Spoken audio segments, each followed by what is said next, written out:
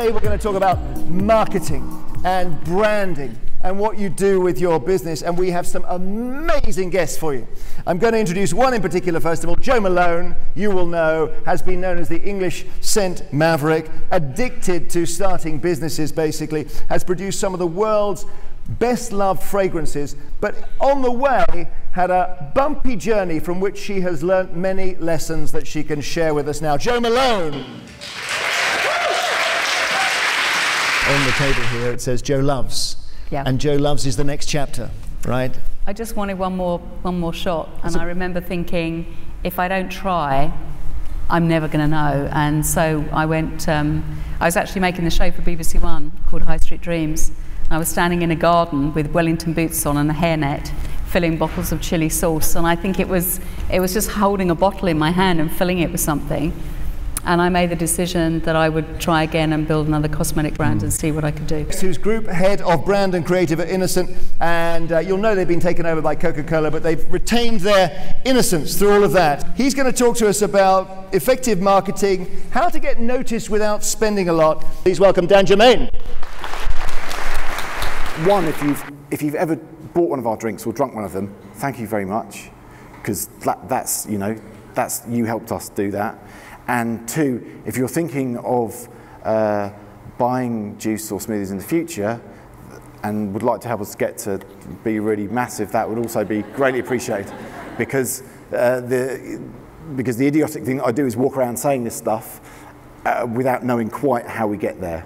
But part of the deal of coming and talking to a room full of nice people is like, maybe you could help us, please. I want you to meet, please, Rafe Offer of Sofar Sounds. Come to the stage, Rafe. Why don't you go there? Kate Anketill, who is from GDR Creative Intelligence, spots retail trends. Kate.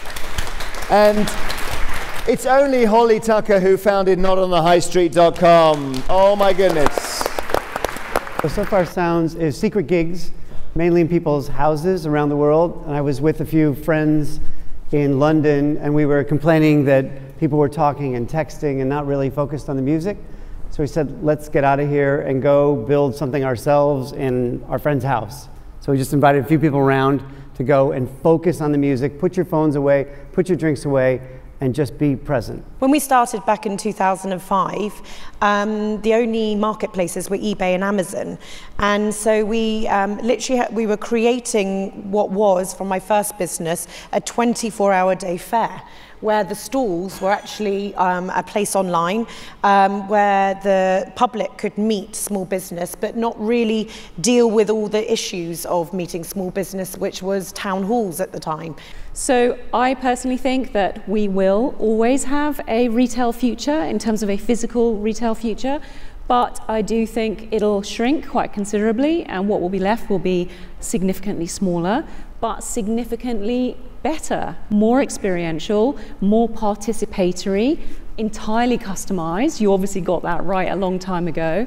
And also, you're getting it right because what you're doing is community based, it's bottom up, and that's absolutely right, and that's the trend we're seeing.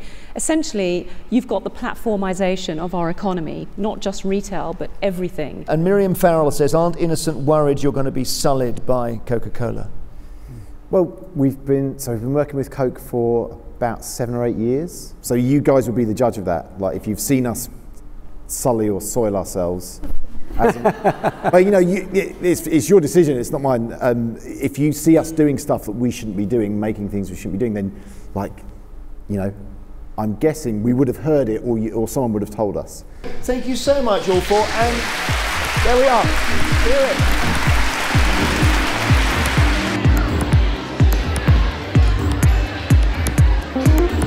Was an amazing event. I thought it was really engaging. The speakers were amazing. My personal favorite was actually uh, Jo Malone. Uh, the speaker from Innocent. Jeremy Vine as the host was amazing. What I especially like is to get and heard stories from more the companies I knew. And there's a lot of information that just inspired you.